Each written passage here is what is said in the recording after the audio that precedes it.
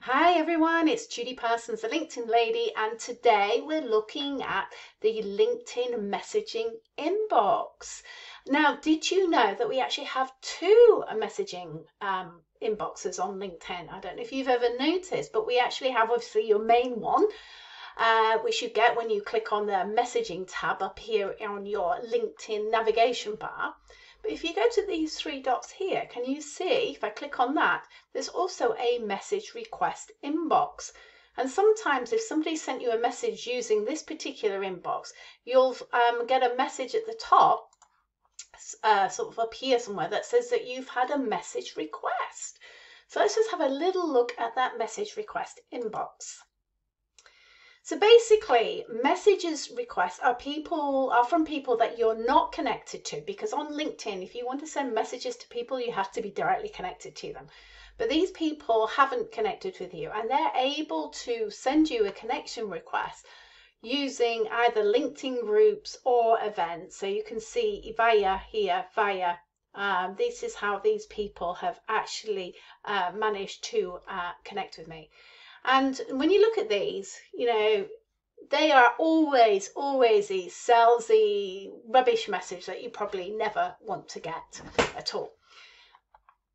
So if we look at Patrick here. He sent me, you know, my agency helps over 500 businesses. So they're just, these are just people who go, we're just throwing stuff out there. They hasn't bothered looking at my website. They're not there to try and create relationships. They just want to, um, you know, want, want, want us to, um, you know, sell to us basically. And who wants to be sold to? Nobody. So what we can do with these, um, if, if, this was on your main messaging inbox as well, um, I haven't got any messages on my main inbox that I would want to get rid of. So I'm using my uh, message request uh, inbox to demonstrate how this works.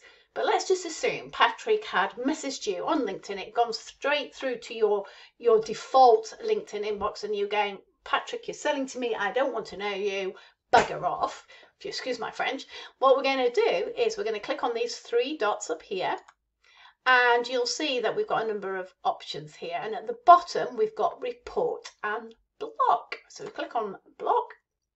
We've got enough, a number of options here that you could go, I don't know, Patrick, it's spam, it's inappropriate, etc., etc. So we're going to tell LinkedIn why we're reporting this conversation. So we're going to go with it's a scam. I mean, you can choose any of these. If you just want to click on them, you can see um, why, you, you know, the options that you've got there. But if we click on it spam or, or a scam, if we click on that, we can tell LinkedIn what we think it is. And it is, it's promotional or spam. And we don't want it. So we're going to click on submit and LinkedIn then thanks us for reporting it. Whether they do anything with it is another matter, but at least we've uh, we've done that. Um, if you were connected with uh, Patrick, or you know you never want to see or hear from him again, then you can also block him from here, as you can see. I'm not actually connected to uh, Patrick, and he doesn't have a Scooby who I am. He's just throwing stuff out there to see what uh, kind of sticks. So we're going to get rid of that. So let's just go back to our main inbox. So you can see that I'm in the message request inbox still. If I click on go to inbox, that's going to take me back to my main um, messaging inbox.